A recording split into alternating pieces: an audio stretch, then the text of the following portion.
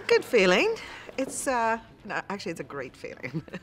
it's great. I'm trying not to crow too loudly, but that was a really good one to get, and probably the best I've seen in the Den. Definitely, fantastic opportunity for me. Great business, great investment. Really, really pleased. Gavin knows how to play the game, so he's very, very good at uh, pretending he's not interested and then he is interested, and then he's confusing the issue by talking about everybody else and what they're doing and what they're not doing. He's a master. He's an absolute master. He's our Simon Cowell.